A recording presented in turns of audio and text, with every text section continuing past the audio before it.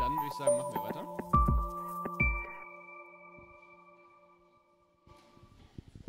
Alles klar.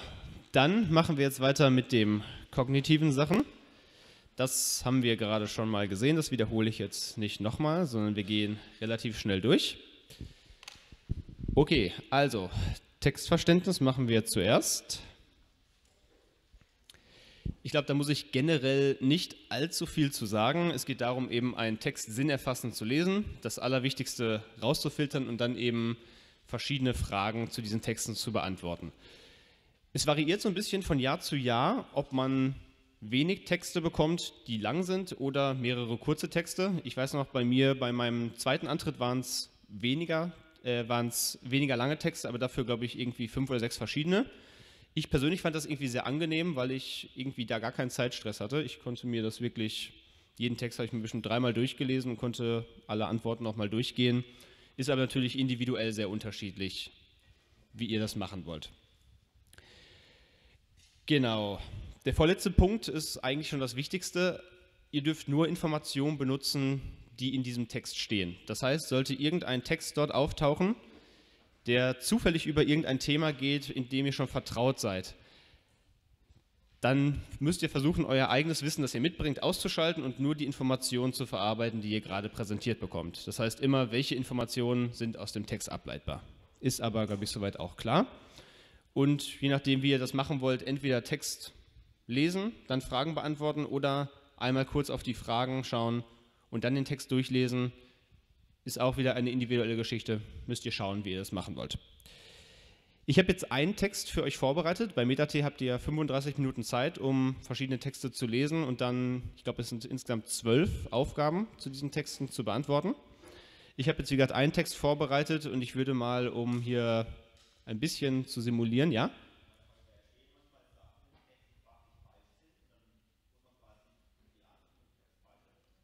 Ja, also die Frage ist, kann es auch passieren, dass der Text sozusagen falsche Informationen enthält? Ist generell möglich. Ich kann mich jetzt an kein konkretes Beispiel daran erinnern, aber es wäre theoretisch möglich, dass du sozusagen da sitzt und denkst, das habe ich aber irgendwie mal anders gelernt. Vielleicht auch im Zuge der Meta-T-Vorbereitung. Aber die Frage ist immer, welche Information ist laut dem Text ableitbar? Da musst du eben dein eigenes Wissen sozusagen abschalten. Okay. Also ein Text, ich würde sagen, ich gebe euch mal so ein bis zwei Minuten, um den einmal durchzulesen. Und dann habe ich drei Fragen zu diesem Text, die wir dann machen können. Okay.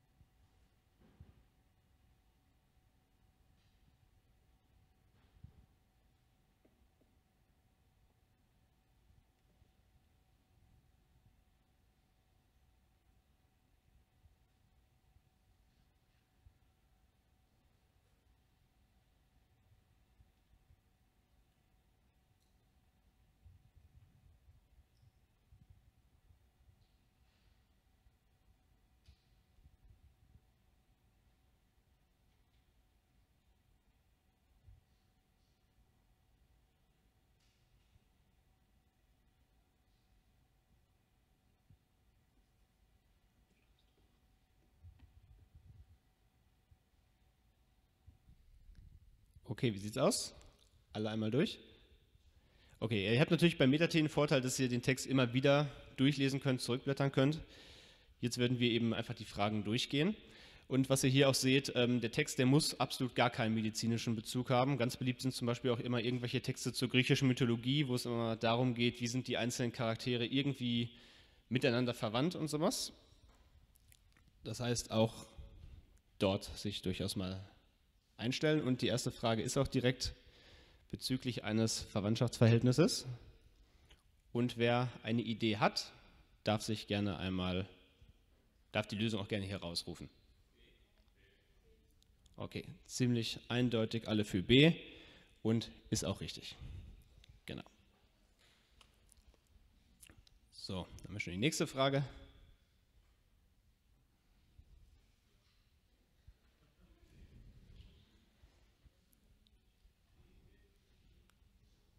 Gut, was sagt ihr? E. Jawohl. Sehr gut. Gut. Einen haben wir noch. Jetzt ist natürlich ein bisschen gemein, dass ihr nicht hin und her blättern könnt, deswegen werde ich das gleich für euch einmal machen, weil es hier so ein bisschen darum geht, jetzt muss man rechnen tatsächlich, obwohl Mathe gerade vorbei ist. Oh ja. So. Deswegen gehe ich jetzt einmal kurz zurück, dann könnt ihr euch die Zahlen vielleicht nochmal anschauen.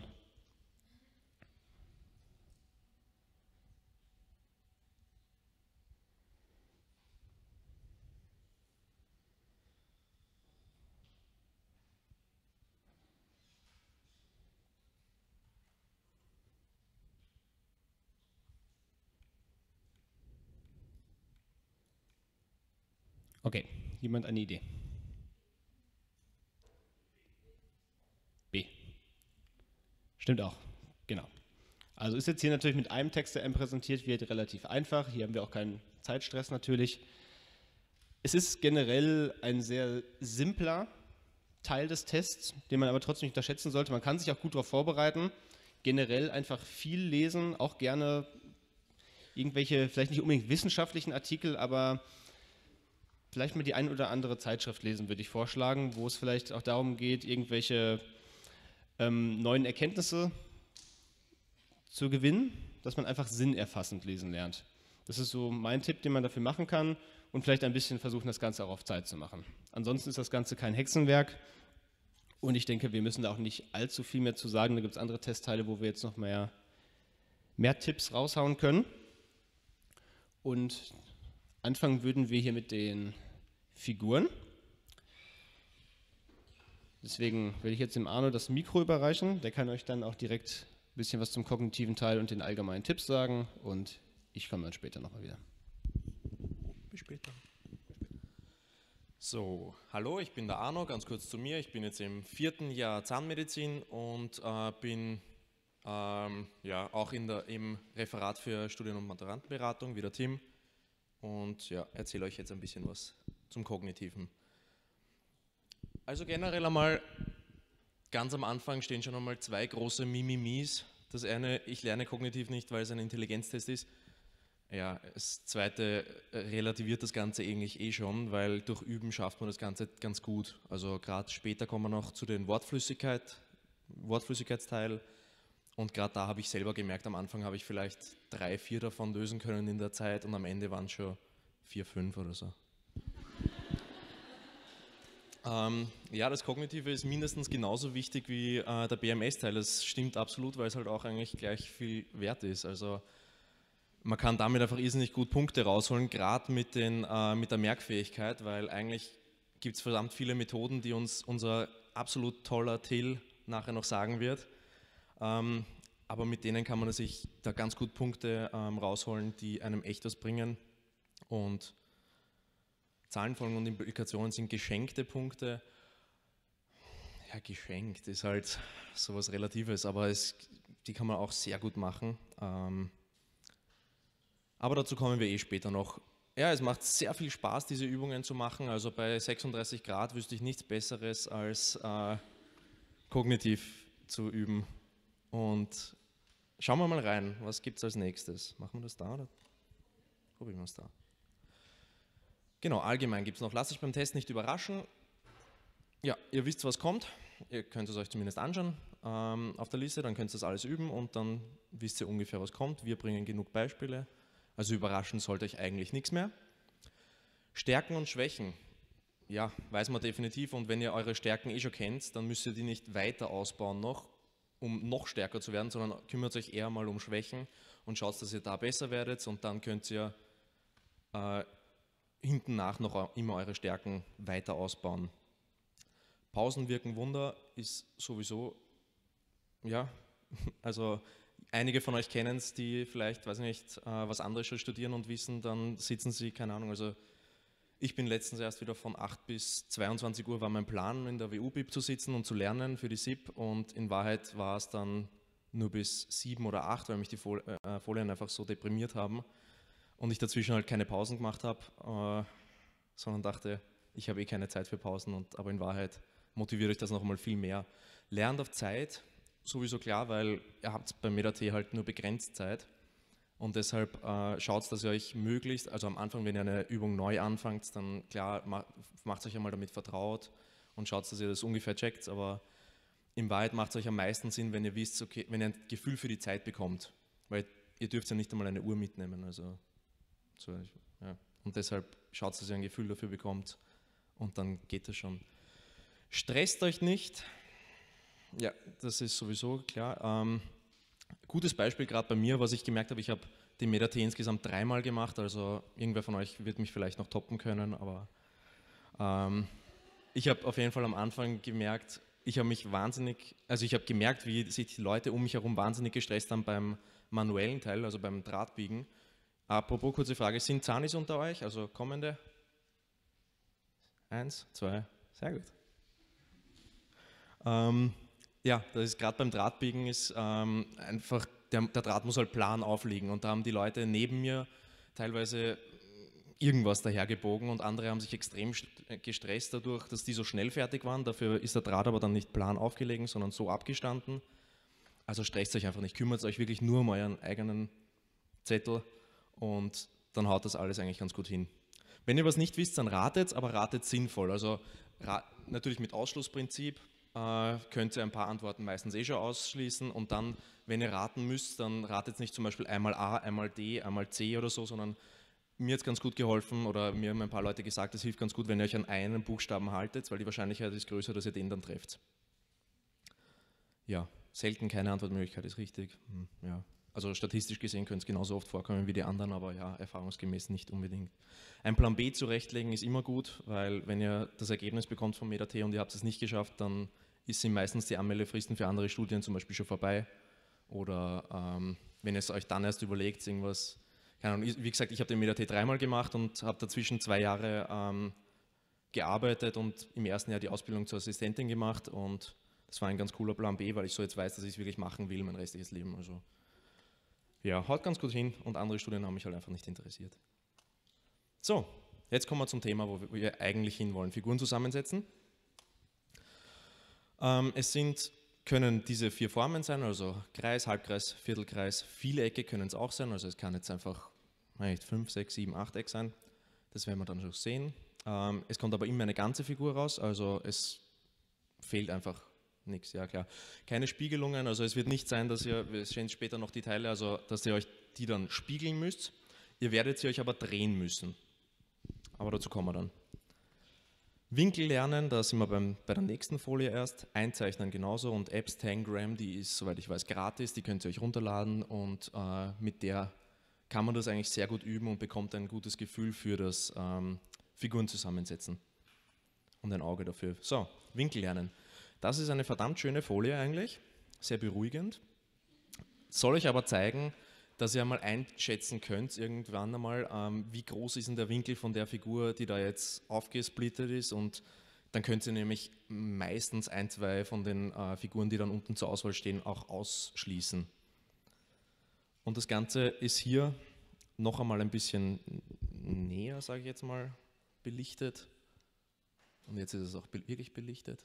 Also, wenn ihr jetzt hier euch diesen Winkel anschaut, kann das zum Beispiel der schon einmal überhaupt nicht sein. Wenn ihr die alle da mal durchgeht, ist es am wahrscheinlichsten dieser Winkel. Und deswegen, ja, ist diese Folie auch einmal drin, dass ihr das euch einfach einmal anschaut und wisst, wie ihr das am besten einschätzt, die Winkel, und dann nach dem Ausschlussprinzip weiterfahrt. Gut, das Einzeichnen. Ich würde sagen, diese Folie nehmen wir gleich einmal kurz zur Übung. Ähm, schaut sich das einmal an und wer dann als das erste weiß oder wer nervös wird und das rausschreien möchte, kann das gerne tun. Okay. Lassen wir den anderen auch noch ein bisschen Zeit.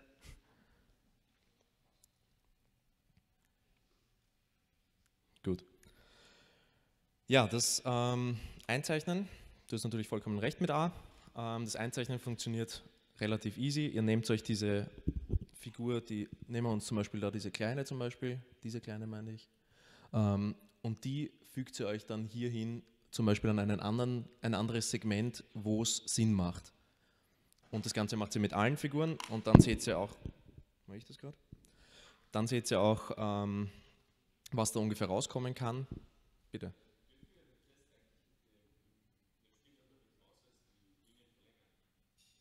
Was, die Linie verlängern. Also, naja, ihr dürft euch in dem Testheft Notizen machen, also dürft ihr euch auch was reinzeichnen. Die Frage war, ähm, ob man in dem Testheft, also bei den Formen, die dort sind, die Linien, diese Kanten verlängern kann. Ähm, also grundsätzlich ja, wenn du dir Notizen reinmachen darfst, wird das sicher auch möglich sein. Oder darfst dir, wie gesagt, auch so reinzeichnen, darfst du auch.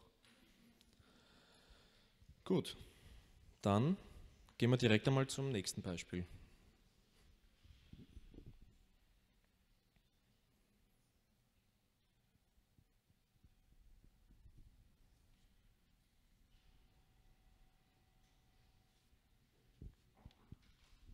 Bitte.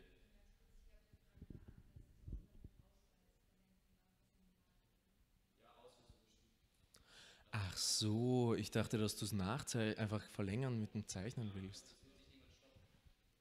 Es wird dich ziemlich sicher niemand stoppen, weil da sitzen relativ viele Leute und das müsste erstmal wer sehen. Habe ich jetzt nicht offiziell gesagt. Schneid das raus. ähm, ja. Also grundsätzlich solche Sachen, wenn es nicht ausdrücklich irgendwo steht, dass es verboten ist, dann könntest du es auf jeden Fall mal. Eh. Und das Testheft, das ist wie bei der SIP, das Testheft schaut sich wahrscheinlich kein Mensch wirklich an. Wichtig ist der Auswertungs-, also der Prüfungsbogen. Wie gesagt, schneid das raus. ähm, okay.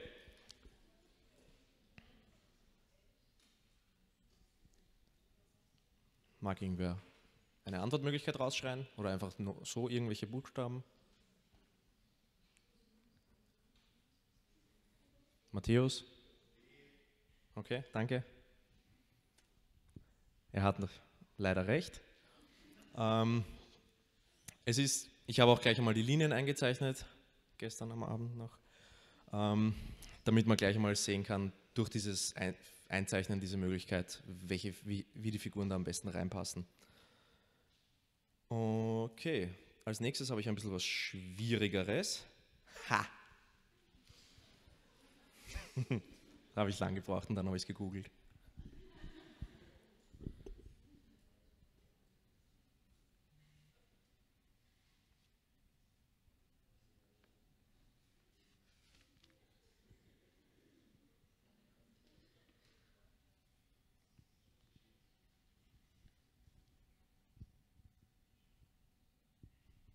Also ich würde da jetzt so, also ich bin auch gestern da so vorgegangen, ähm, C und D würde ich einmal anhand der Anzahl und der Größe der anderen beiden, also der vier gegebenen Figuren eher ausschließen, weil das einfach irgendwie nicht rauskommen kann. Und jetzt ist eine 50-50 Chance.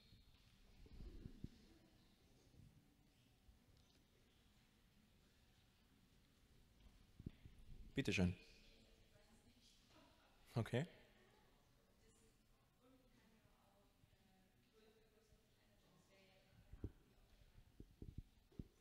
Noch einmal bitte.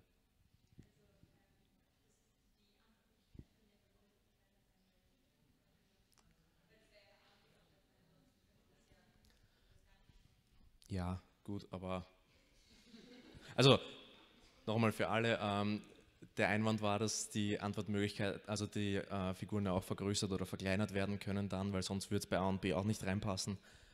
Ja, aber wie gesagt, wenn man sich die vier Figuren, die da oben sind, die Segmente anschaut, also mir persönlich würde es eher einfallen, dass die Antwortmöglichkeiten C und D wahrscheinlich nicht drin sind. Es kann natürlich auch falsch sein. Also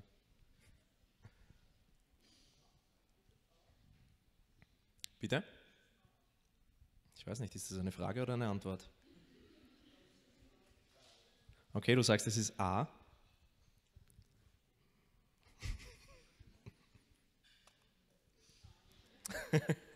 es ist B.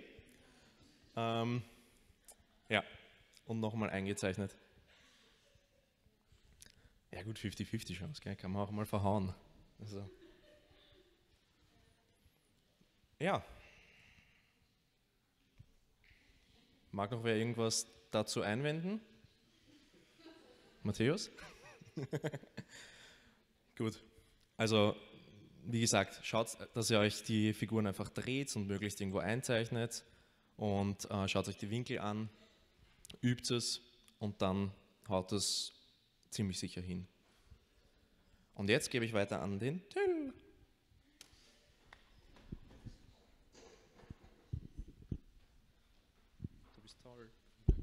Ja, ich hätte A gesagt. Äh, kurz zu mir. Hi, ich bin Till, äh, zweites Jahr Humanmedizin und äh, ich erzähle erzähl euch heute was über Gedächtnis und Merkfähigkeit. Kann ich hiermit weitermachen? Cool. Ähm, direkt mal kurz zum Anfang. Und zwar ist es so, dass sich äh, dieses Jahr ähm, das ein bisschen verändert hat mit der Reihenfolge. Es ist so, dass bisher es war, dass ähm, die Implikationen mit der Wortflüssigkeit getauscht waren. Äh, das bedeutet, die haben das jetzt, die Wortflüssigkeit in die, zwischen die Lern- und Prüfphase von dem Test gemacht. Ähm, das heißt, da vergeht jetzt mehr Zeit. Also das sind jetzt 35 Minuten, wenn ich das gerade richtig ablese, die man äh, hat, um sich das sozusagen noch einzuprägen oder wo es eigentlich zerstört werden soll. Also darauf bitte einstellen. Ich weiß nicht, ob das alle wussten, aber hm, passt schon. Cool. Ähm, hier sieht man es nochmal genau, umrandet.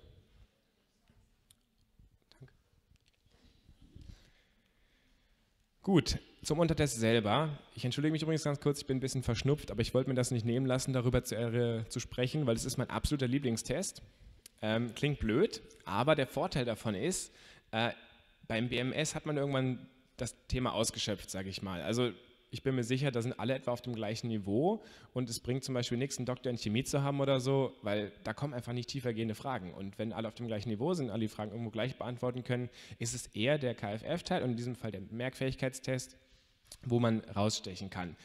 Der Arno hat vorhin was zu Stärken und Schwächen gesagt. Das war sicherlich meine äh, Stärke. Meine Schwäche war zum Beispiel Physik. Also ich habe auch eben kein Wort verstanden, genau wie bei Mathe. Und ich habe, ich glaube, bei Mathe die Hälfte geraten. Es hat gepasst.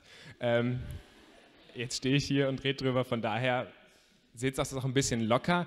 Ähm, dieser Test ist richtig cool. Es, man hat ein irres Lernpotenzial und das Üben. Also ich habe, wenn ich geübt habe, ich habe dann irgendwann am Ende ähm, so in den letzten paar Wochen jeden Tag so einmal eine komplette Simulation sozusagen von dem Ding durchgemacht. Und das war immer eigentlich richtig cool, weil man irgendwie den Effekt davon sehen kann oder einfach merkt, dass man die Antworten dann drauf hat. Und ja, die Kreativität ist natürlich ganz groß gefragt. Ähm, und es ist einfach ein bisschen locker zwischendurch, weil man ein bisschen Spaß auch dabei haben kann und auch besonders im Test selber noch. Ich weiß, es klingt völlig bekloppt. Ihr sitzt dann, habt gar keinen Bock mehr eigentlich schon bei dem Teil, weil es ist nach der Mittagspause. Aber ja. Und wie nochmal gesagt, zum Highlighten, es ist ein Vorteil gegenüber anderen, weil ich behaupte mal ganz frech, zumindest war es so bei mir, wenn man beim Testtag, man ist natürlich gestresst und ich glaube aber, dass man das Wissen eher noch irgendwo drin hat und beim Chemie und Bio dann einfach noch ankreuzt, ja, das weiß ich schon, aber wenn man durcheinander kommt bei dem Test, dann haut man hier halt richtig Punkte weg. Und äh, wenn man da die Nerven behält, dann ist das schon irgendwo ganz gut belohnt. Ähm, es ist natürlich ein bisschen zu spät, sage ich mal, um eine ganz neue Methode wahrscheinlich anzufangen. Ähm, und viele von euch werden, die ich jetzt gleich erzählen werde, schon kennen. Ich werde ein paar Tipps dazu noch geben. Ich habe sie mit großem Erfolg angewendet und benutze sie heute noch. Ähm, wir hatten gerade so viel mit Pharmakologie und äh, ehrlich gesagt, also jetzt nicht mich abfragen, aber es ist was hängen geblieben und es ist doch ganz, ganz cool. Ähm, man kann das ziemlich schnell und gut trainieren. Innerhalb von einer Woche habe ich gedacht, wow, hätte ich nicht gedacht. Aber hey, man äh, sollte es ein bisschen langsam angehen, deshalb ja, ist das eher jetzt für die Videobotschaft, sage ich mal. Und wie schon gerade erwähnt, es bringt später auch noch was ist natürlich absolut nicht die einzige Methode. Und wenn ihr jetzt irgendwie eine andere Methode benutzt und sagt, ja gut, ich würde jetzt nicht so gerne nochmal wechseln, völlig in Ordnung. Ich habe sie benutzt, ich würde sie gerne vorstellen. Ich werde nicht alle anderen vorstellen, weil es wird ein bisschen zu lang dauern. Und sie ist eben sehr individuell. Das heißt, es gibt nicht äh, den einen Weg, sondern es gibt viele Wege. Die Loki-Methode. Ähm, kurz dazu, es ist quasi ein imaginärer Raum oder Weg, ähm, wo man bestimmte Fakten, die Fakten, die ihr da auf den äh, Allergieausweisen habt, ablegt. Und man wandelt sozusagen in Gegenstände um oder in Personen, das ist ganz praktisch, und schafft damit diesen, vielleicht hat einer von euch The Mentalist oder so gesehen, da geht es ja immer darum, der weiß ja immer alles und der hat so einen Gedankenpalast. Und ähm, da denkt man, ja, schaffe ich nicht, niemals. Vielleicht nicht in dem Ausmaß, natürlich immer ein bisschen verschönert, aber es funktioniert doch irgendwo. Es ist eine räumliche Vorstellung. Am besten ist natürlich eine super bekannte Umgebung. Ähm, das bedeutet das Haus eurer Großeltern, eurer Eltern, vielleicht die alte Schule, wenn ihr die cool fandet oder so. Wichtig ist, dass da viele Details hängen geblieben sind. Von da, also dass ihr, wenn ihr in euren Kopf geht und irgendwie euch denkt, ja, okay, vielleicht könnt ihr sogar den Knauf der Schublade noch irgendwie wissen und wissen, wie der sich anfühlt, wie der aussieht. Farben helfen immer. Ähm, wie gesagt, da gibt es nicht Plan A oder so, sondern es gibt viele.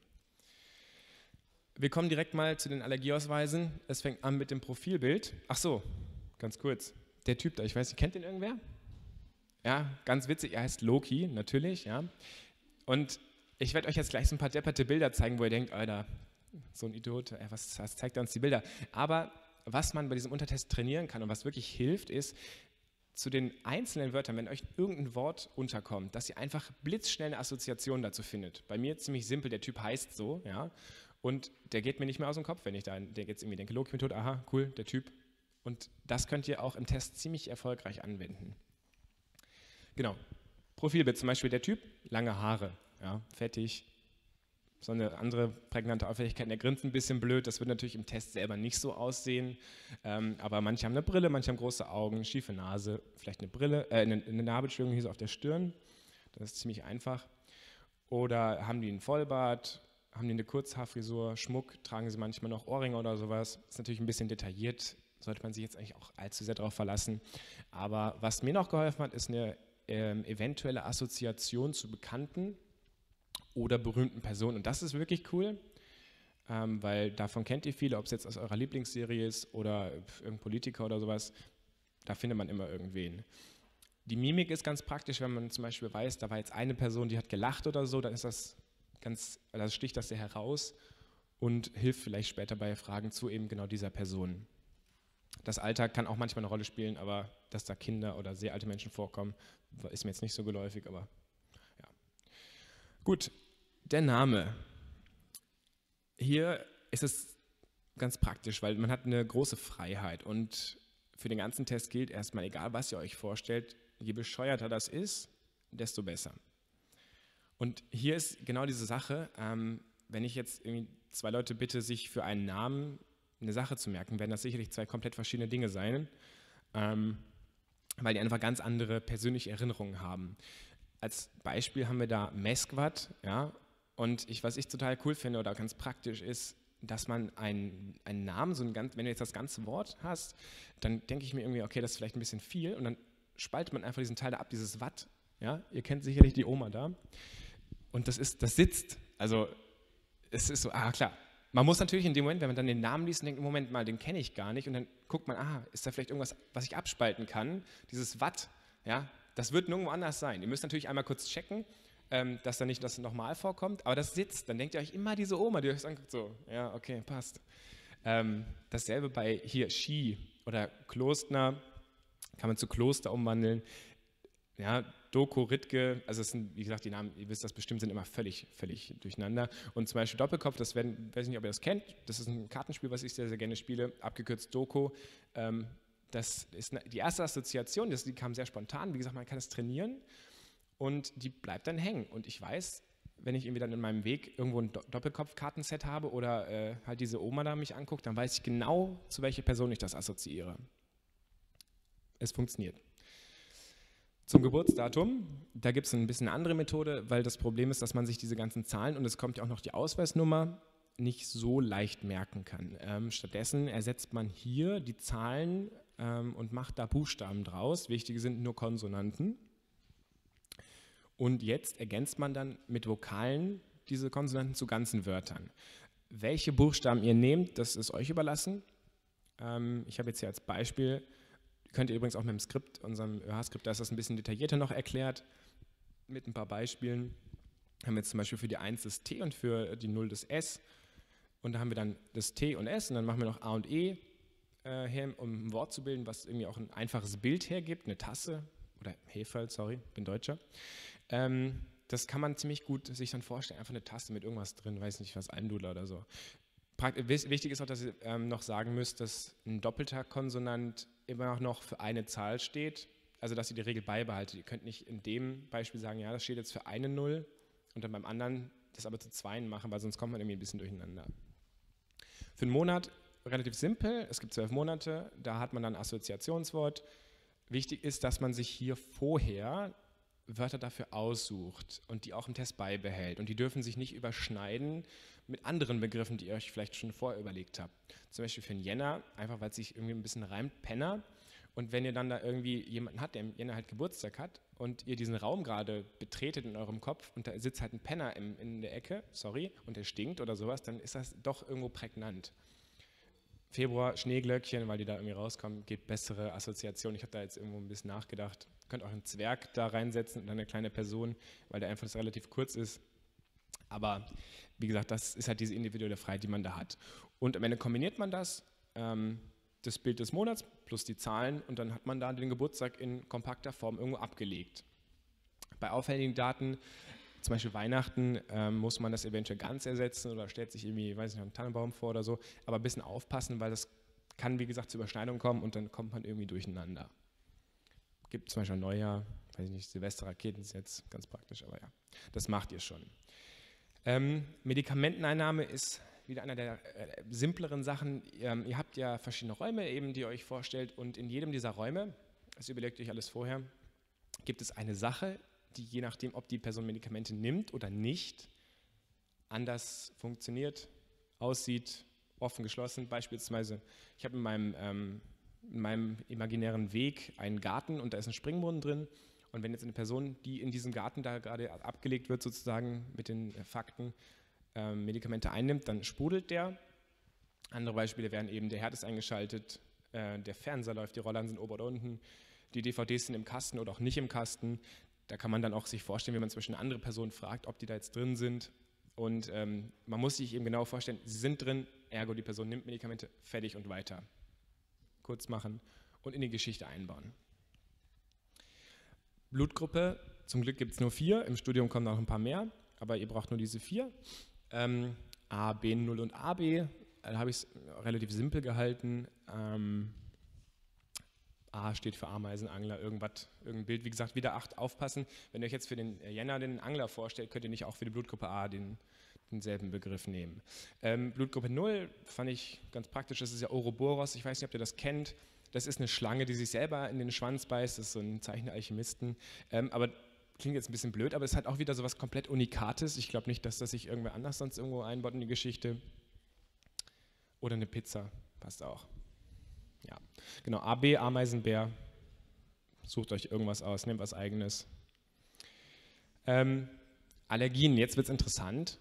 Äh, gleich kommen wir eh zum schwierigsten Teil, aber vorher kommen noch die Allergien. Das kann man sich meiner Meinung nach ganz gut bildlich vorstellen. Äh, Soja könnte eine Sojabohne sein, wow.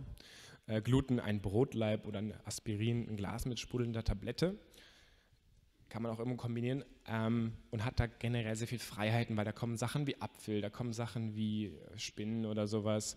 Ähm, aber es kommen halt gerade Metatee-Sachen wie Pappel oder Glucose, Fructose, Laktose oder so. Und da kann sein, oh ja, warte mal, Zucker, Zucker, Zucker, scheiße, wie war das nochmal? Glucose kann zum Beispiel dann, äh, weiß ich nicht was, ein, ein, Riegel sein oder sowas, Fructose, Apfel plus irgendwie ein Zuckerwürfel oder so habe ich mir das vorgestellt, Laktose einfach Milch dazu aber wirklich irgendwie vorher ein bisschen gucken, was so vielleicht ähm, bei Altfragen oder so, dass ihr da irgendwie seht, ja, das kam vielleicht mal dran oder sowas. Wie gesagt, wir hatten die Zitterpappel, glaube ich, oder zwei verschiedene Pappelarten mal vor zwei Jahren. Bisschen vorsichtig sein. Und hier ist es eben von Vorteil, wenn man einfach schnell oder wenn man trainiert hat, schnelle Assoziationen zu finden. Ausstellungsland. Ähm, ich habe da immer ganz gern Personen eingesetzt. Ähm, wenn ich jetzt irgendein random Land sage, zum Beispiel nehmen wir mal Russland oder so, wird sicherlich jede Person irgendwie an Putin denken. Ähm, könnte sein, vielleicht an Wodka. Irgendwas, ja, das kann sein. Das kann absolute Klischees sein. Klischees sind richtig, richtig gut. Schweiz, Toblerone. Österreich, oh, das muss ich aktualisieren. Ich sehe gerade, das stimmt gar nicht mehr. Ähm, Frankreich, ja, Baguette.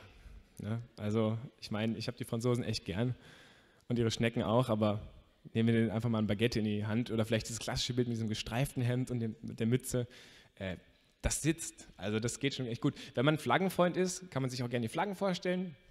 Oder eben, wenn man Kollegen hat oder Freunde, wo man sagt, ja, der ist für mich irgendwie der typische Kanadier, der isst nur Ahornsirup mittags. Stellt den da hin in die Geschichte. Stellt den hin und stellt euch vor, was macht der Trottel hier? Ich schreibe doch gerade den Metatee. Genau, bei unbekanntem Land, es kommen halt keine Fake-Länder, also das Phantasialand wird da nicht auftauchen. Aber wenn da irgendwie, ich weiß nicht, ob jemand von euch, warte mal, Bhutan kennt, kleines Land in Asien, nicht böse gemeint, falls jemand daherkommt, ähm, kennen einfach nicht die meisten. Und äh, da kann man sich dann Bhutan, ja gut, Butter passt. Nehme ich und weiter.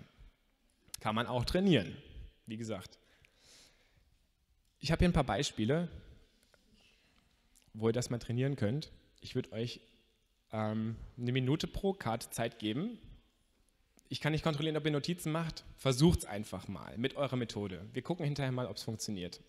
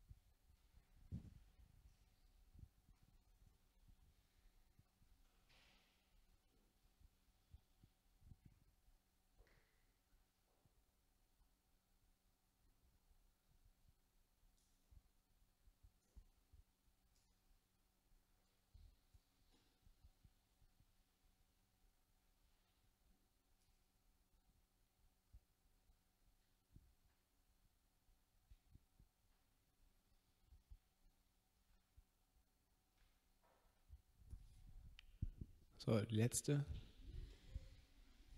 Großer Dank geht raus an Bongo. Äh, der ist berühmt. Der war schon mal bei den Wiener Linien als Model angestellt. Und danke an Lisa.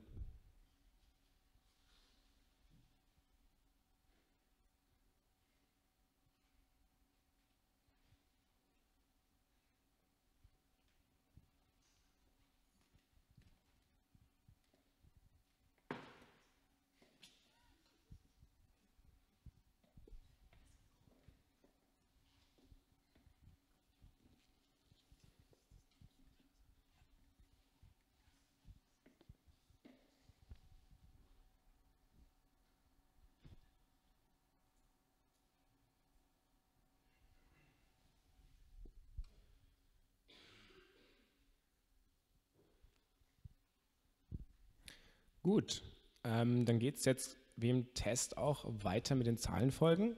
kann es schon mehr kommen. Ähm, wir werden das gleich noch auflösen. Eine Frage, ja?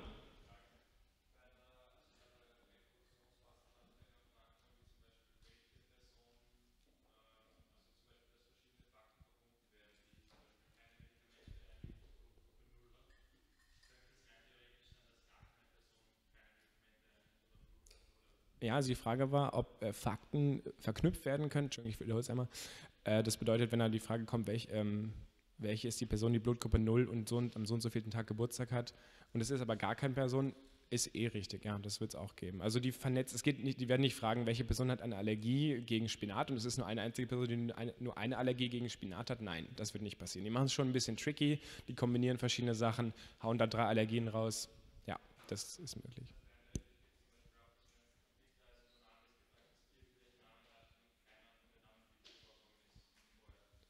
Du meinst, dass ein Fake-Name eingeschleust wird? Das habe ich noch nicht erlebt. Wüsste ich nicht, dass das passiert. Aber kann passieren. Wenn dir der Name nicht be äh, bekannt vorkommt, dann schmeiß ihn raus. Da war noch eine Frage? Zu was, Entschuldigung? Ja, Loki. Ja, Lozi.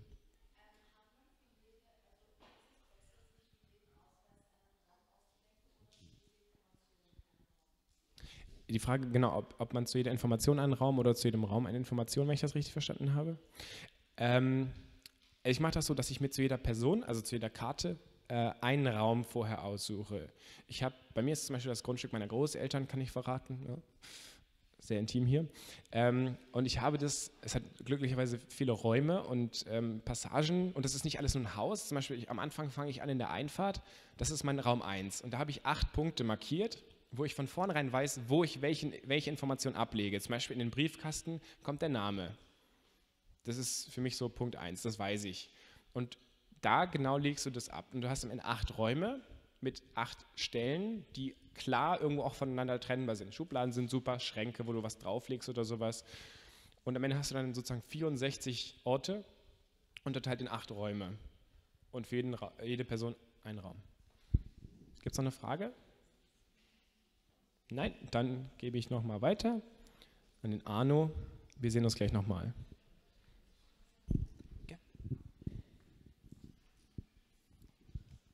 So. Hallo, ich bin der Arno. Na, das können wir überspringen. Ähm, also wir machen weiter mit den Zahlenfolgen, aber nur kurz, weil es geht ganz schnell. Ähm, ganz klar, Kopfrechnen üben. Ihr dürft eh keinen Taschenrechner verwenden. Ähm, also das ja, ist eh selbstverständlich. Ähm, Zweier- und Dreiersprünge, das erkläre ich, falls nötig, dann beim Beispiel. Aber in Wahrheit ähm, erkläre ich es beim Beispiel. Ähm, es kommen aber auf jeden Fall nur die vier Grundrechnungsarten und es kommen keine, äh, ganze Zahlen sind. Also es wird dann nicht so sein, weiß ich nicht, 11 durch 2 oder sowas. Ähm, es gibt keine Tipps außer üben, arbeite mit schwierigen. Ja, genau. Dann fangen wir gleich einmal an. Was ich da jetzt mit den Zweier- und Dreiersprüngen gemeint habe, ganz kurz noch, ähm, ist zwischen der 12 und der 17 kann jetzt eine Rechnung passieren oder es zielt darauf ab, dass ihr die Rechnung äh, euch anschauen müsst zwischen der 12 und der 51. Das ist mit Zweier- und Dreiersprünge. Aber es wird nicht zwischen der 12 und der 39 was sein. Bitte.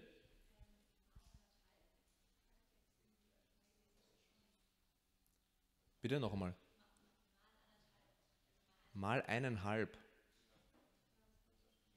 Tatsächlich. Das ist mir sehr neu.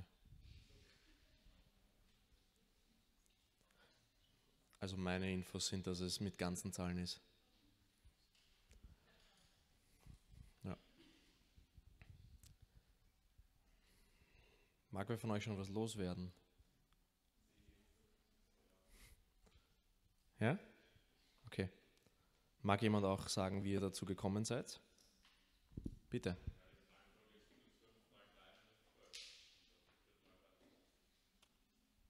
So ist es. Plus 5 mal 3 minus 12. Wie gesagt, nur kurz. Und wir sind bei den Implikationen.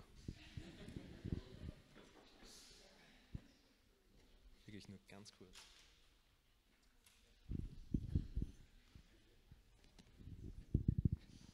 So, Implikation, genau. Und zwar, ich habe mal hier ein kleines Bild eingefügt, was viele Leute, glaube ich, haben, wenn sie an Implikationen denken. Weil ich immer so ein bisschen den Eindruck habe, Implikation ist etwas, das fällt einem entweder total leicht oder man kommt da so gar nicht mit klar. Deswegen einfach mal so aus Interesse, wer hat hier so ein bisschen Schiss vor Implikationen? Gut. Sind tatsächlich nicht so sonderlich viele, was ganz gut ist. Da müssen wir es nämlich nicht ganz so detailliert besprechen, wie ich es erst vorhatte. Aber ich wollte es ein bisschen davon abhängig machen, wie fraglich das hier ist. Also, generell sind Implikationen sehr gut trainierbar, weil es einfach reine Logik ist. Wenn man nicht gut mit, weiß ich nicht, mit Zahlen kann, nicht gut mit Formen kann, dann ist das halt immer schon so ein bisschen blöd, kann man natürlich auch trainieren, aber die Implikationen sind halt wirklich reine Logik. Ja, wie es aufgebaut ist, wissen wir, glaube ich, alle. Ihr übt ja auch schon alle fleißig. Zwei Prämissen sind gegeben. Die müssen wir als wahr erachten, egal was da für ein Blödsinn steht. Die sind für uns wahr und wir müssen einen logischen Schluss daraus ziehen. So, ich habe jetzt hier etwas aufgeschrieben, das nennt sich Quantoren. Und ich finde, das ist ähm, alles schön und gut. Mich persönlich, die ersten machen schon Bilder. Das Ganze wird ja auch wieder online gestellt, nur dass ihr Bescheid wisst. Können natürlich trotzdem Bilder machen. Ähm, mich persönlich verwirrt sowas immer mehr, als es mir hilft. Deswegen habe ich mal das markiert, was hier relevant ist. Und zwar sind das die letzten drei Aussagen. Und zwar ist es immer, immer, immer so, dass die Aussagen alle und einige nicht konvers sind. Was heißt das jetzt? Das bedeutet, dass ich vom einen nicht auf das andere rückschließen kann. Und ich habe hier direkt ein Beispiel gemacht. Bei diesen Beispielen habe ich jetzt ganz bewusst ähm, Beispiele aus der Realität gewählt, die auch stimmen. Wie gesagt, bei Implikationen müssen wir sonst die Prämissen immer als gegeben und wahr annehmen, egal ob da steht, alle Katzen sind Hunde oder sonst irgendein Blödsinn. Hier habe ich jetzt extra wirklich wahre Beispiele genommen, weil es ein bisschen leichter ist, das nachzuvollziehen. Alle Menschen sind Säugetiere. Ja, stimmt. Und jetzt drehen wir es um. Alle Säugetiere sind Menschen. Nö, stimmt nicht, denn es gibt noch andere Säugetiere. Also immer wichtig, alle ist schon mal nicht invers und einige nicht genauso. Einige Menschen sind nicht Männer, ja, stimmt, denn es gibt auch Frauen, aber umgekehrt, einige Männer sind nicht Menschen, ist falsch. Wie gesagt, immer jetzt hier auf diesem Level, dass wir uns in der Realität bewegen, nur um das so ein bisschen zu verdeutlichen. Umgekehrt, keine und einige sind, die beiden Aussagen sind umkehrbar. Das heißt, wenn ich sage, keine Menschen sind Fische, dann sind auch keine Fische Menschen. Die Aussage kann ich immer umdrehen und entsprechend einige Menschen sind Frauen stimmt und einige Frauen sind Menschen stimmt auch. Und das ist das, was viele Leute nicht so ganz verstehen, weil einige bedeutet quasi eine abgeschwächte Form von alle. Einige heißt immer mindestens eine Person in dieser Menge, auf die muss das zutreffen. Es kann aber genauso gut alle bedeuten. Und wenn ich sage, einige Frauen sind Menschen, dann sagen zwar manche Leute, hm, ja, stimmt ja nicht so wirklich, weil alle Frauen sind Menschen, aber deswegen ist die Aussage, einige Frauen sind Menschen, ja nicht weniger wahr. Es ist nur nicht ganz so schön sozusagen ausgedrückt. Aber darauf kommen wir gleich nochmal zu sprechen. Genau, einige A sind B bedeutet nicht, dass auch einige A nicht B sind. Und zwar, einige Dackel sind Hunde. Ja, stimmt. Man könnte sogar sagen, wieder alle Dackel sind Hunde. Aber einige Dackel sind keine Hunde. Das ist falsch, weil jeder Dackel ist ein Hund. Es gibt nur eben auch Hunde, die keine Dackel sind. Wie gesagt, die Folie wird wieder online zur Verfügung gestellt. Ihr könnt das Ganze auf YouTube nochmal etwas langsamer sehen. Wir müssen nur ein bisschen die Zeit im Auge behalten, deswegen gehe ich etwas schneller hier durch. Es ist wirklich an sich logisch, wenn man darüber nachdenkt. Bitte. Manche? Okay, die Frage ist nach manche. Ich lese oft manche in irgendwelchen Übungsmaterialien. Bei offiziellen Metat-Sachen sind die Aussagen aber immer alle, keine und einige. Manche würde ich persönlich synonym setzen mit einige, aber ich würde mich da gar nicht zu sehr mit aufhalten, weil einige ist das, was offiziell vorkommt. Okay. Der nächste Teil sind so diese goldenen Regeln und ich weiß, dass einige Test, ähm, Testübungshersteller ganze Tabellen und Listen erstellen, dass wenn die eine Prämisse keine ist, eine ist und die zweite ist einige sind keine, dann muss daraus immer dieser Schluss folgen. Und es gibt Leute, die sich mit Implikationen schwer tun, die lernen dann einfach stur diese Tabellen auswendig. Wenn ihr das wollt, könnt ihr das natürlich machen. Ich bin nur der Meinung, dass man beim MetAT schon genug Zeug lernen muss, also der gesamte BMS-Teil, vor allen Dingen Physik, wo man irgendwelche Formeln drauf haben muss, dass man nicht unnötig etwas, was ich mir mit Logik erklären kann, auch noch sozusagen auswendig lernen muss. Jetzt hier aber bei diesem Beispiel, keine Katze ist eine Maus und einige Mäuse sind keine Katzen. Der Hintergrund ist, wenn ich zwei verneinende Aussagen habe, dann kann ich keinen logischen Schluss daraus ziehen. Deswegen ist es immer die Antwortmöglichkeit E, wenn zwei verneinende Sätze auftauchen. Okay. Umgekehrt, wenn beide Aussagen, also beide Prämissen positiv sind, bejahend sind, alles sind zweimal oder in diesem Fall einige können fliegen, dann muss auch die Aussage positiv sein. Das heißt, es kann zumindest kein negativer Schluss daraus folgen. Es ist natürlich auch möglich, dass Antwortmöglichkeit E wieder richtig ist. E kann ja immer richtig sein, aber die Aussage muss an sich immer positiv sozusagen betont sein. Okay, sobald eine der beiden Prämissen verneint ist, also ich habe einmal alle Eulen sind Vögel, positiv, und einige Eulen können nicht fliegen, dann muss auch die Aussage, die am Ende rauskommt, ebenfalls verneint sein. So kriege ich keinen bejahenden Schluss hin. Zum Beispiel, einige Vögel können eben nicht fliegen. Oder, haben wir gerade schon gesagt, Antwortmöglichkeit E, keine Aussage trifft zu. Gut. Das mit einige und einige nicht ähm, haben wir gerade schon so ein bisschen besprochen, gehen wir aber gleich sowieso noch drauf ein. Und genau, wenn beides sozusagen einige ist, dann lässt sich dort auch kein Schluss draus ziehen, weil ich nie weiß, wie diese beiden einige Kreise sozusagen in Verbindung stehen. Das heißt, wenn ich sage, einige Tiere sind Hunde und einige Hunde sind Dackel, dann kann es zwar sein, dass diese Dackel auch Hunde, auch Tiere sind, aber es wäre theoretisch auch anders möglich, indem diese Schnittmenge eben außerhalb des Kreises existiert. Deswegen kann ich das nie mit Bestimmtheit sagen und wenn ich zweimal einige da stehen habe, kann ich immer sofort E ankreuzen, weil sich niemals ein logischer Schluss daraus ableiten lässt. So, das ist im Prinzip nochmal die Umkehr des Ganzen. Und hier haben wir nochmal ähm, das Wichtigste zusammengefasst, nämlich dass einige eben die abgeschwächte Form von alle ist. Und ich habe jetzt hier zum Beispiel dieses einige Menschen atmen Sauerstoff. Das ist eine richtige Aussage. Wenn ich sage, alle Menschen atmen Sauerstoff, dann fühlt die sich für uns an sich richtiger an, weil sie genauer ist. Aber was bei diesem Untertest Implikationen erkennen immer gesucht ist, ist die sogenannte One Best Answer. Also das, was am besten zutrifft auf das Ganze. Und ich habe das Ganze jetzt mal kurz an einem Beispiel beleuchtet. Und zwar haben wir jetzt zweimal dieselben beiden Prämissen, aber die Antwortmöglichkeiten ändern sich. Und zwar, alle Frauen sind Menschen und alle Menschen sind Säugetiere. Daraus folgt, was? B. Alle Frauen sind Säugetiere. C, würden wir, haben wir gerade gesagt, ist ja theoretisch auch richtig, aber da wir wissen, dass definitiv alle Frauen Säugetiere sind und das auch eine Antwortmöglichkeit ist, wählen wir es auch. Anders sieht es hier aus. Ich kann nochmal zurückgehen. Hier ändert sich nicht viel, es ändert sich nur diese Antwort. Ich habe jetzt die Aussage, alle Frauen sind Säugetiere weggenommen. Ansonsten ist alles gleich geblieben und in diesem Fall müsstet ihr eben dann auch die Antwort, einige Frauen sind Säugetiere nehmen. B hat sich jetzt leider gerade zurückgeändert, wie ihr seht, wenn ich das markiere. Das ist ein Fehler in der Folie.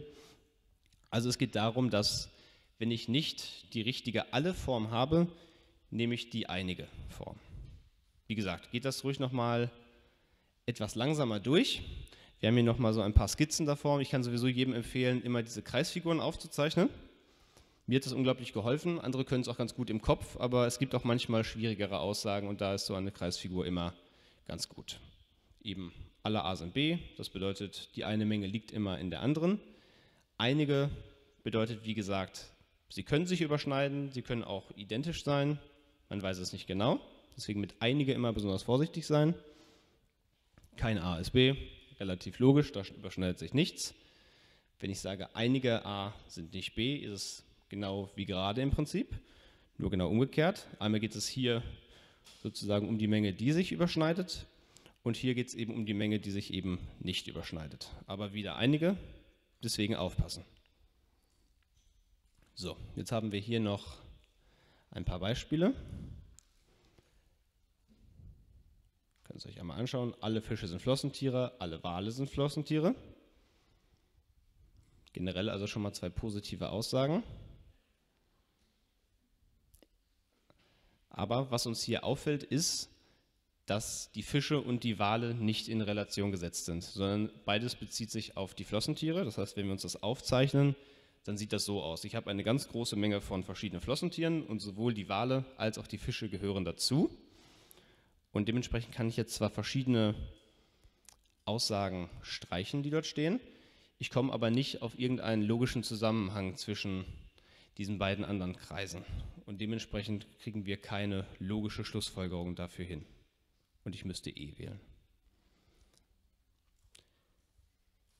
Jetzt haben wir das nächste Beispiel. Ich würde euch auch immer empfehlen, wenn ihr etwas aufzeichnet, immer die alles oder keine Aussage zuerst aufzuzeichnen, weil das, also für mich ist das immer etwas übersichtlicher, weil die ziemlich logisch ist. Bei einigen gibt es ja, wie gesagt, verschiedene Möglichkeiten, wie ich das aufzeichne. Alles oder keine ist immer nur eine Möglichkeit, die es gibt. Das heißt, wenn wir uns jetzt aufmalen, alles Obst ist ökologisch, haben wir den großen Kreis von ökologisch und Obst liegt eben drin. Und jetzt die Aussage, einiges vom Gesunden. Wir haben gesagt, Aussagen A, B und C können ausgeschlossen werden. Wir können nochmal zurückgehen und gucken, was da steht. Alles Gesunde ist ökologisch. Nee, nicht unbedingt, weil es nur einige ist. Einiges Ökologische ist nicht gesund, auch nicht eben aus dem genau umgekehrten Fall. Einige kann auch wieder heißen, dass dieser Kreis im Prinzip, der gesunde Kreis könnte theoretisch auch komplett im Obstkreis liegen. Wir wissen es aber eben nicht. Und dementsprechend bleibt nur die Aussage D als einzige Aussage, die logisch ist, übrig. So. Dann noch ein letztes Beispiel, bevor wir hiermit fertig sind. Alle Tiere sind Lebewesen, würde ich persönlich wieder zuerst aufzeichnen, weil das Eindeutige. Und einige Tiere sind nicht Veganer. Wenn wir uns das Ganze aufzeichnen, alle Tiere sind Lebewesen und es gibt einige Tiere, die keine Veganer sind. Dementsprechend bleibt übrig A, einige Lebewesen sind nicht Veganer. Wenn wir zurückgehen, schauen wir uns das an. Einige Lebewesen sind nicht Veganer, nämlich hier genau diese Tiere, die sich eben nicht damit überschneiden. Wir sind jetzt hier ein bisschen durchgerusht aufgrund der fortgeschrittenen Zeit. Ich habe trotzdem versucht, ein bisschen noch künstlich in Länge zu ziehen, damit ihr mehr Zeit bis zu der Merkfähigkeitszeit habt. Denn wie der Till gerade schon gesagt hat, ihr habt jetzt ein bisschen mehr Zeit zwischen diesen Untertests. Wie gesagt, wenn es euch schwer fällt, dann schaut es euch nochmal ganz in Ruhe an. Es ist, wie gesagt, relativ logisch, lässt sich gut trainieren und man kann dort relativ viele Punkte relativ einfach holen. Also, okay, wünsche ich euch viel Spaß mit den Allergieausweisen. Danke, danke. Mal gucken, was ihr noch so drauf habt. Nicht böse gemeint. Kann mir jemand da die Antwort sagen? A. Wie habt ihr euch das gemerkt? Oder anders, was, wie hast du dir diesen Namen gemerkt? Sie, hat gesagt, sie hat sich die Person riesig gemacht. Witzig, die Person ist 1,58 groß, nur so am Rande, aber genau richtig. Klar, das war natürlich die Intention dahinter. Sorry, Julia. Ähm, ich bedanke mich übrigens kurz bei allen Models dafür, genau. Ja, die Person ist riesig. Das ist in diesem Fall ein Name, den man fast im Ganzen äh, nutzen kann. Man streicht das G weg und hat dann die Riesin da stehen. Ja, passt. Und ich meine, Globuli Ne? Mal im Ernst. Und äh, Quark. Ja, äh, das, sind, das sind sehr prägnante Sachen. Und ich mache diese komischen Beispiele nicht, weil ich irgendwie euch auf den Arm nehmen will oder so, sondern weil das sind Sachen, Globuli, da überlegt man ein Bruchteil einer Sekunde hat zack ein Bild von dieser kleinen Fläschchen da im Kopf mit diesen Perlen da drin und das sitzt. Also das ist was ganz Prägnantes. So.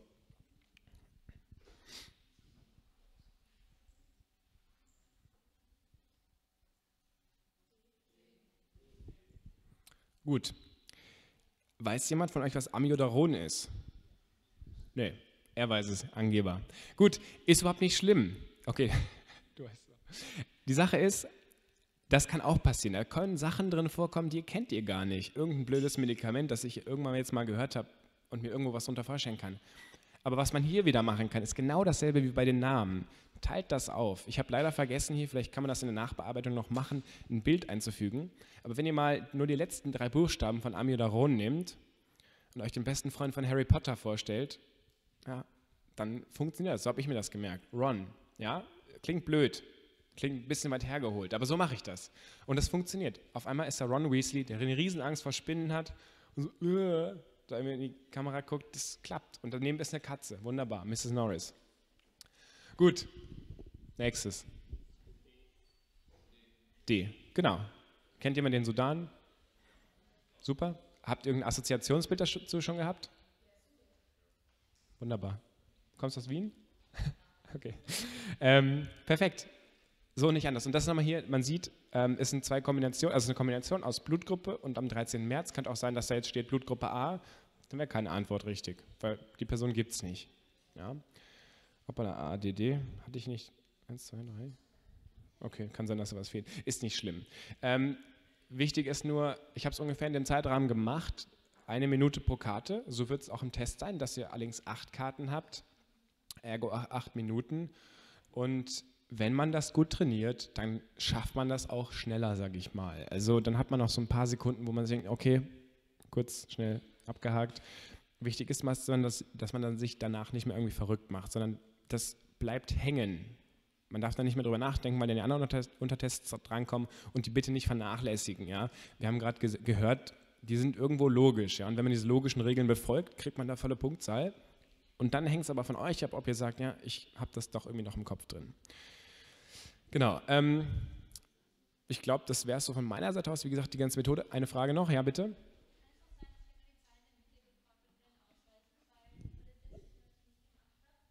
Du meinst die Frage, ob nur die Zahl in der Mitte gefragt wird von den Ausweisen? Also du meinst, wenn da irgendwie fünfmal die sechs steht oder so, dass zwei Sechsen gefragt werden oder sowas? Achso, dass, dass es mit 2, 3, 5 zum Beispiel anfängt. Ja, das kann, glaube ich, sein, aber nur, wenn es eindeutig ist.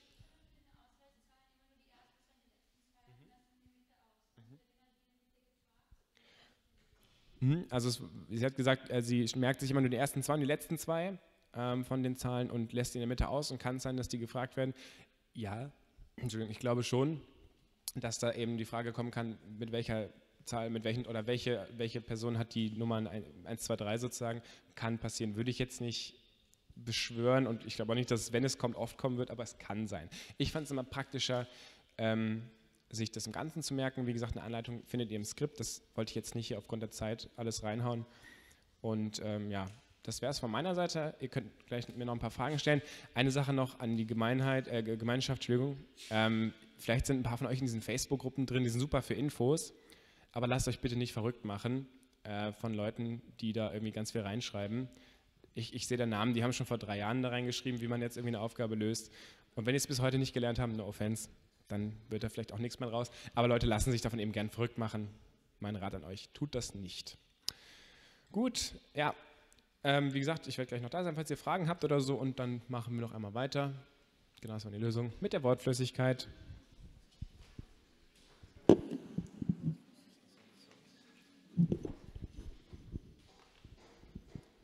So, da bin ich wieder. Ähm, Wortflüssigkeit. Ein paar von euch haben schon ein bisschen geübt, viele davon, äh, von euch haben vielleicht Angst davor. Funktioniert super mit Üben. Also, man bekommt ein Anagramm von einem deutschen Hauptwort in der Einzahl, Singular, und das wusste ich noch. Äh, ja, es gilt den Anfangsbuchstaben des Wortes zu finden, so schaut auch dann die Antwort, äh, schauen auch die Antwortmöglichkeiten auf, ähm, aus. Also es steht dann A bis E und dann steht Antwort, ähm, Anfangsbuchstabe B, Anfangsbuchstabe F und so weiter. Und am Ende eben ist wieder keine richtig. als E. Dialekte, also der Harald zum Beispiel dürfte da keine Aufgaben stellen, weil die einfach verboten sind.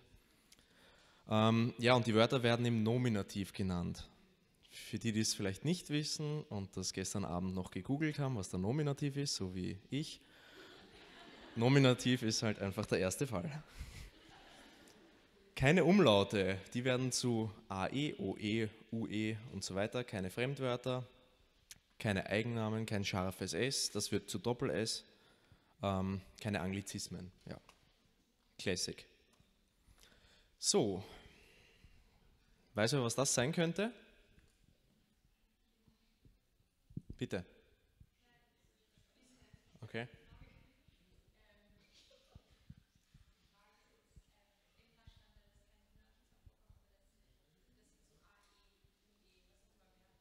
Ja. Ja. Genau. Also Umlaute können drankommen, nur dass das im, im Wort dann als AE steht. Also ihr habt dann einfach quasi nicht vier, Buchsta vier Striche dort, sondern fünf, mehr oder weniger. Okay, du hast gelacht. Weißt du, was das sein könnte? Ja, wir sind uns selber nicht ganz einig. Ähm, einige von uns sagen, da äh, kommt Spinne raus. Andere sind der Meinung, da ist ein N zu viel. Ja, kann man jetzt sich selber denken, was das sein könnte. Zunächst mal überlegen, äh, überfliegen, weil manchmal löst man sowas unbewusst. Und ja, das ist halt genauso ein Wort, das ich unterbewusst schon lösen würde. Ja, Mehr sage ich dazu jetzt eigentlich gar nicht. Ab einer Länge von zehn Buchstaben handelt es sich äh, um ein zusammengesetztes Wort wie Zahnspange. Ja, weil selten sind Wörter so lang, dass irgendwas ganz Eigenes ist. Ähm, es gibt aber keine wirklich offizielle Maximalzahl von Buchstaben, die das sein könnte. Es gab auch mal Worte mit 14 Buchstaben. Es gab auch Worte wie Acrylfarbe oder sowas. Also es kann wirklich alles kommen. Markante Buchstaben kann man sich direkt anstreichen, weil dann hat man die schon einmal, weil das ist oft eben wie am Beispiel Querulant, dass so ein markanter Buchstabe dann manchmal schon am Anfang stehen könnte. So, Buchstaben suchen, die zusammenstehen ähm, könnten, ist relativ selbsterklärend. Ähm, das sind einfach so Sachen wie TZ, PH und so weiter, die, wo ihr einfach wisst, das könnte jetzt zusammengehören. Es ist aber mit CK, SCH und so weiter, das, oder ST, das muss einfach auch nicht sein. Also probiert es einmal zusammengehörig und dann probiert, wenn ihr auf keinen Nenner kommt, dann probiert es einmal extra. Was auch ein ganz guter Tipp ist, schreibt euch die, ähm, die Buchstaben, wenn ihr einfach gar nicht drauf kommt, einfach noch einmal extra hin. Ähm, also selber zum Beispiel in einer Wolke haben sich viele dann aufgeschrieben oder einfach überhaupt in einer anderen Reihenfolge, weil vielleicht seht ihr es irgendwie ganz anders, wenn es in einer anderen Reihenfolge dasteht. Suffixe sind Endsilben, das habe ich nicht googeln müssen, weil schon da stand. Ähm, ja, sowas, wenn ihr diese Buchstabenkombinationen findet, dann könnt ihr euch relativ einfach ähm, das einmal auf, ans Ende schreiben und dann sucht ihr schon unterbewusst eigentlich nach Wörtern, die so enden könnten. Und vielleicht findet ihr dann einfach auch eins. Genau. Wer von euch weiß, was Vokale sind? Nein, ich habe es nicht googeln müssen, weil das hat mir der Till gesagt. A, E, I, O, U. Und da ist einfach ein Wechsel aus äh, Vokalen und Konsonanten, kommt einfach relativ oft vor, eben an, ti, ma, te, ri, e. So. Jeden Tag üben. Ähm, ich persönlich habe das damals, ähm, fand ich eigentlich ganz gescheit gemacht. Ich habe eigentlich den ganzen Tag gelernt und dann am Abend habe ich mir noch mit einer Bekannten einfach gegenseitig uns zehn Beispiele geschickt, ähm, die wir erstellt haben und einfach in der vorgegebenen Zeit, die, man hat, haben wir versucht, die zu lösen und dann halt einfach, ja, am Ende, wo das Hirn eh noch, nur noch so ein bisschen Matsch ist, kann man das auch noch machen. Intuition wird besser, also wenn ihr die, ähm, wenn ihr die Worte alle überfliegt einmal, dann findet ihr vielleicht schon einmal gleich mehr. Also es, wie gesagt, üben ist echt super. Ich habe am Ende schon vier, fünf geschafft. Ähm, Scrabble spielen sowieso, auf jeden Fall. Ähm, ist ganz, an sich ganz witzig und da findet ihr einfach Wörter heraus und Buchstabenkombinationen, die euch definitiv was bringen könnten. So, versuchen wir mal was. Schreibt euch die einfach auf und so in ein paar Minuten werden wir das dann einmal durchgehen.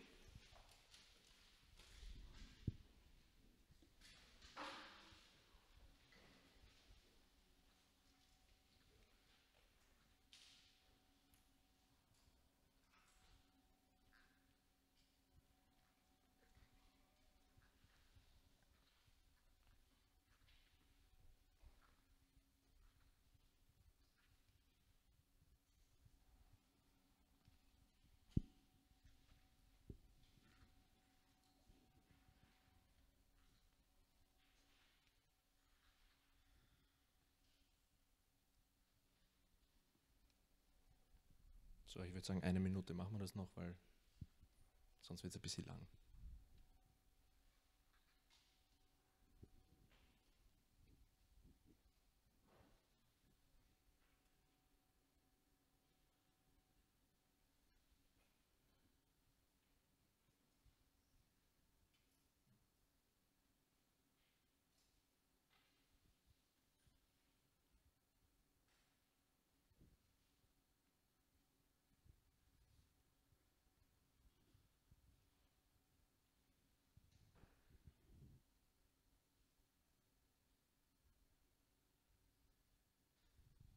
Stopp. Meditativ-Feeling. Gut, ähm, wer von euch hat denn schon was gefunden? Koffer ist gut, bitte? Ja, fast. Anfangsbuchstabe stimmt, aber das Wort ist was anderes. Versagen, ja. Bitte. Bitte? Schauen wir es uns so an. Trompete, Aufnahmetest, Versagen, Koffer, Kieferwinkel, Ausschreibung und Prinzessin. Aber hey, der Anfangsbuchstabe hätte gestimmt, also. So, dann gebe ich einmal weiter. Von mir war es das jetzt eigentlich auch. So, hallo, ich bin die Emily. Ich studiere im ersten Jahr Zahnmedizin und gehe jetzt mit euch noch ein bisschen was zu den sozial-emotionalen Kompetenzen durch. Also zuallererst, es zählt nur 10 Prozent, aber es ist natürlich auch wichtig, weil gerade so, wenn es um ein paar Punkte geht, noch, dass man reinrutscht oder nicht, ist das schon ganz gut, wenn man da bei den Emotionen und sozialen Entscheiden auch ein bisschen was erreicht hat. Gerade beim sozialen Entscheiden weil es da auch ähm, halbe Punkte oder genau so Viertelpunkte gibt und sowas. Und das kann schon den Unterschied bedeuten zwischen reinkommen und nicht reinkommen. Ähm, ihr habt, es kommt ganz am Ende des Tests und ihr habt pro Untertest 15 Minuten Zeit, in denen ihr 10 Aufgaben bearbeiten müsst. Genau, das soziale Entscheiden eben zehn Aufgaben in 15 Minuten.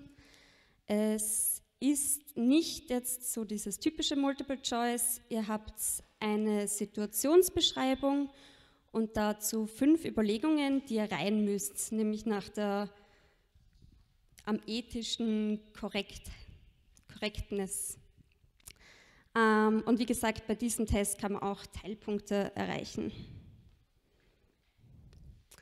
Ähm, ganz wichtig ist eben hier, dass ihr das auch richtig ausfüllt.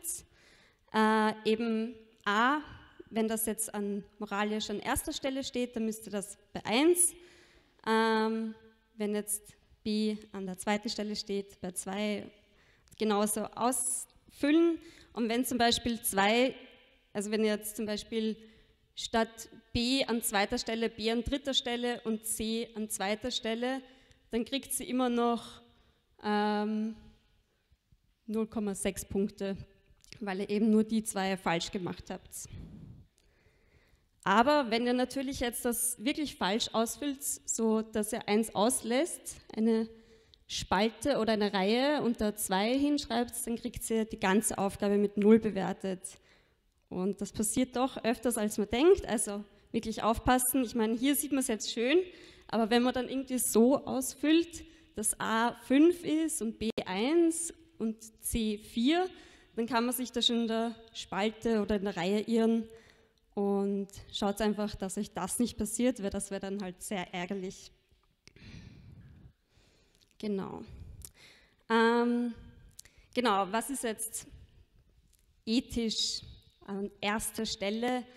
Ähm, man kann das jetzt nicht so nach seinem eigenen Moralgefühl beantworten, ähm, es wird nach, einer, nach der Kohlberg-Theorie der Moralentwicklung, ähm, das ist die Theorie dahinter, die könnt ihr euch anschauen im Internet. Ähm, ich habe sie jetzt umgedreht, das ist normalerweise ähm, 6 das universal ethischste Prinzip und 1 der eigene Nachteil. Aber ich habe es jetzt umgedreht, weil eben bei MIDAT so ist, dass an erster Stufe das universalethische Prinzip und so runter das geordnet werden muss. Genau. Ähm, man kann sagen, eins und zwei ist so ein Grundsatzmoral. Also eins ist meistens so, dass da halt jemand anderer einen Nachteil davon hat. Zwei ist so unser gesellschaftlicher Sozialvertrag. Also was hat mir meine Mutter gelehrt oder sowas, steht da häufig. An dritter Stelle ist Gesetz und Ordnung. Also da gibt es meistens so ein, was, was, ist, was sagt das Gesetz, was man da machen darf und was nicht. Ähm, vier ist die Erwartung von anderer, also was würden andere machen oder andere von mir erwarten, dass ich es tue. An fünfter Stelle kommt der eigene Vorteil und ganz zu Schluss, am Schluss der eigene Nachteil. Und tut es halt immer wirklich so nach dem, weil auch wenn ihr denkt, so, hm, das würde ich jetzt machen und das fände ich am ethischsten korrektesten, dann ist das oft nicht so, sondern es geht halt wirklich nach diesem Prinzip. Und was man auch noch dazu sagen muss, bei MetaT gibt es eben nur fünf, fünf, die man zuordnen muss. Das heißt, eins von diesen Stufen fällt immer weg. Genau, gibt es dazu mal Fragen? Dann beginnen wir gleich mit einem Beispiel. Könnt ihr es euch mal durchlesen?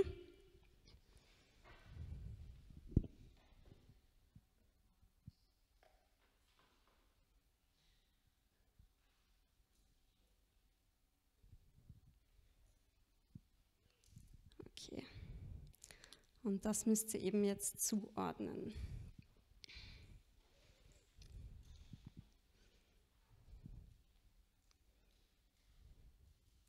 Weiß schon jemand, was an erster Stelle kommt?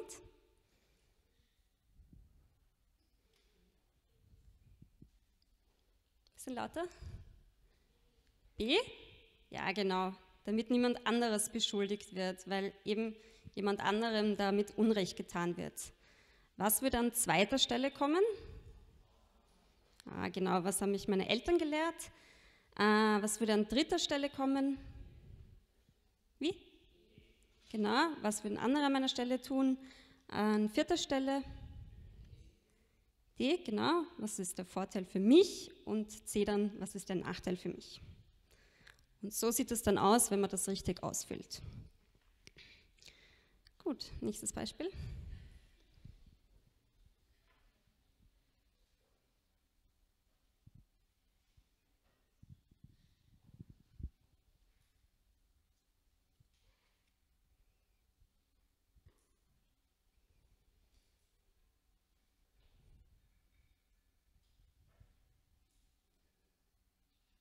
Okay.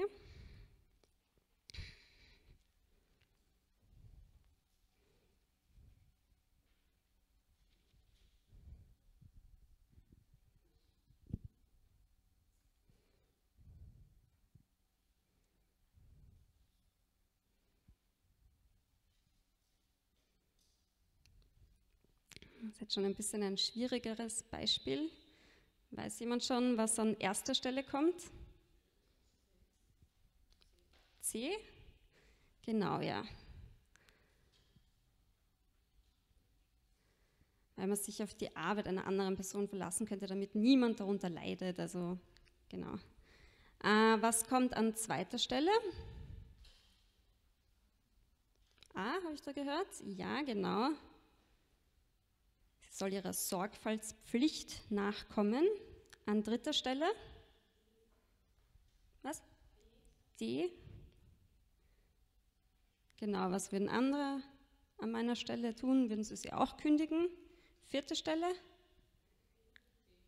B, genau. B. Kein unangenehmes Gespräch, also was Gutes für mich, weil ich muss es dann nicht tun. Und E für mich von Nachteil. So, und ein drittes Beispiel noch.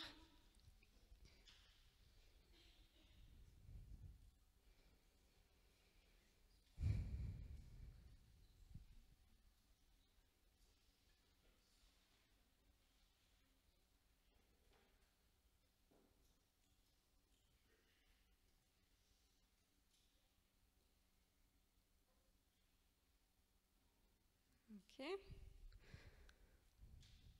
Und die Antworten.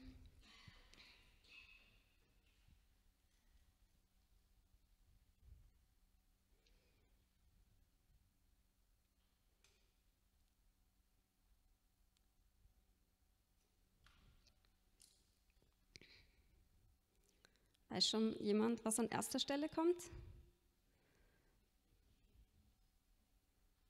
Was? B, D? Was habe ich? E? Genau, ja. Ich muss sagen, da habe ich mir selber urschwer getan, darum habe ich es jetzt auch reingegeben, weil ich mir gedacht habe, ähm, würde ich durch meine schlechte Verfassung Fehler machen? Das denke ich mir, ist ja urschlecht, aber es ist ja wieder eigentlich das Letzte, weil es ist das Negative für mich. Ähm, genau, es ist eben E, das erste. Was ist an zweiter Stelle? C, genau. An dritter Stelle A, ja genau. An vierter Stelle D und an fünfter Stelle B. Genau. Gibt es dazu irgendwelche Fragen? Unklarheiten? Gut, dann gehen wir zu Emotion Emotionen erkennen. Das sind wieder Aufgaben in 15 Minuten. Und diesmal haben wir eine Situation und man muss eben die Emotion, die dieser Mensch in dem Moment hat, beurteilen, ob er die hat, ob das eher wahrscheinlich ist oder eher unwahrscheinlich. Ähm, das Problem ist, dass man sich da oft selbst hineinversetzt und sich denkt, hm, wie würde ich mich da jetzt fühlen? Und genau das darf man nicht tun. Es ist halt wie bei Textverständnis, dass man halt wirklich nur das verwendet, was im Text drinnen steht und nicht selber da irgendwelche Emotionen hinein interpretiert. Wieder richtiges Ausfüllen. Hier ist es halt wirklich so, wenn ihr eins falsch macht, dann ist das Ganze falsch. Ähm, und nicht falsch ausfüllen, also nicht zwei Kreuzel machen nebeneinander oder gar nichts ausfüllen, weil das würde dann auch null Punkte sein.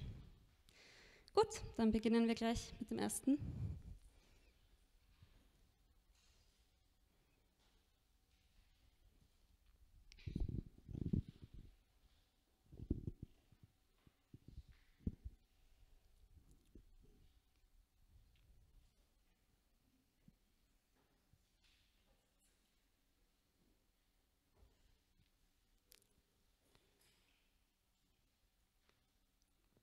Okay, wie fühlt sich Manfred?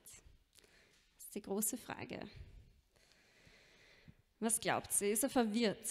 Wer würde sagen, dass er verwirrt ist? Niemand. Genau, weil warum sollte er verwirrt sein? Wer spielt er Lotto, damit er was gewinnt? Also das wäre unlogisch. Ist er überrascht? Ja, genau. Ist er dankbar? Nein, wem soll er dankbar sein? Er spielt selber Lotto. Also. Ist er interessiert? Nein, das ist sowas, was gar nicht reinpasst. Und freut er sich?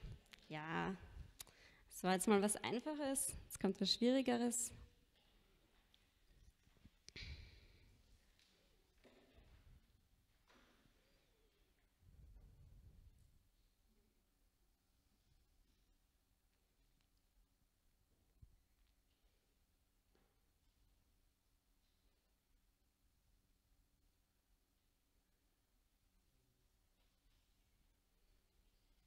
Okay. Gut, was denkt ihr euch? Ist sie verärgert? Nein? Da ist immer so eine Sache, so Ärger, was bedeutet das überhaupt? Ich meine, auf wen könnte, denn, könnte sie denn ärgerlich sein? Dass die Tante verstorben ist, da kann die Tante ja auch nichts jetzt dafür. Auf sich selber, naja, sie hat sich irgendwie nicht überwunden können. Es ist jetzt nicht eindeutig rauszulesen, dass sie verärgert ist. Fühlt sie sich schuldig?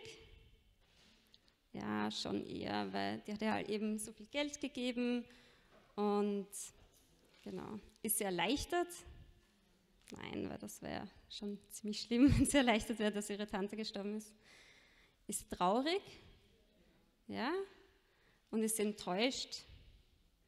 Nein, das passt auch wieder nicht, weil man enttäuscht, dass jetzt früher gestorben ist. Man könnte es irgendwie reininterpretieren, aber es war schon abzusehen, dass sie stirbt. Also genau. Ich habe mir da immer ganz gut getan, dass ich halt, ich habe es jetzt bei Google gesucht, ähm, so gerade bei Emotionen, wo ich mir nicht sicher war, was das jetzt bedeutet ob ich da jetzt vielleicht doch was Falsches interpretiere, mir das rauszusuchen und kurz durchzulesen und auch Beispiele damit zu machen. Ähm, ja? Entschuldigung?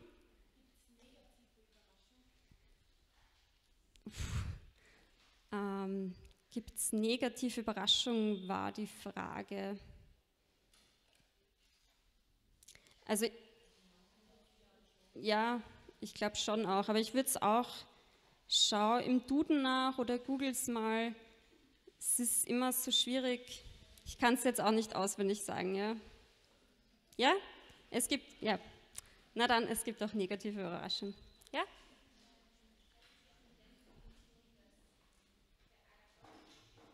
Entschuldigung, ich habe es nicht gehört.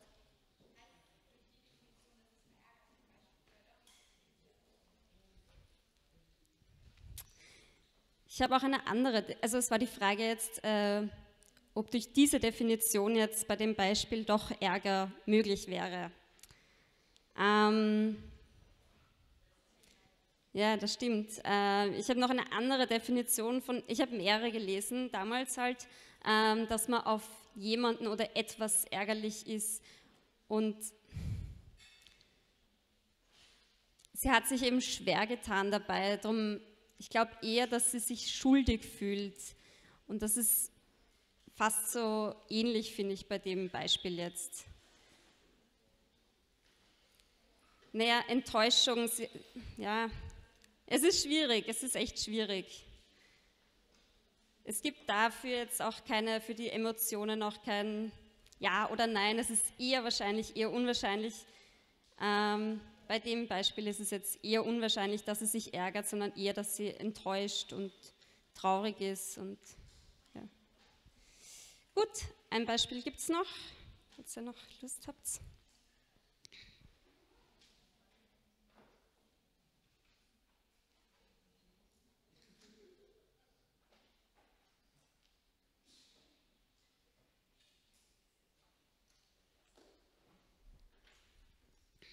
Genau, also wie fühlt sich Max? Ärgert er sich? Ja, weil diesmal der Computer, ich meine, da kann er nichts dafür. Fühlt er sich schuldig? Nein. Hat er Angst? Ah, da gibt es wieder so. Uh. Ähm, in dem Fall ja, hat er Angst, dass er eben den Aufnahmetest nicht schafft. Dadurch. Hm? Besorgt. Es ist auch besorgt, da jetzt sind beide. Ähm, und ist er zuversichtlich? Nein, das passt jetzt zu dem Beispiel nicht. Genau, dann vielen Dank für die Aufmerksamkeit. Ich halte euch allen die Daumen. Lasst euch nicht stressen.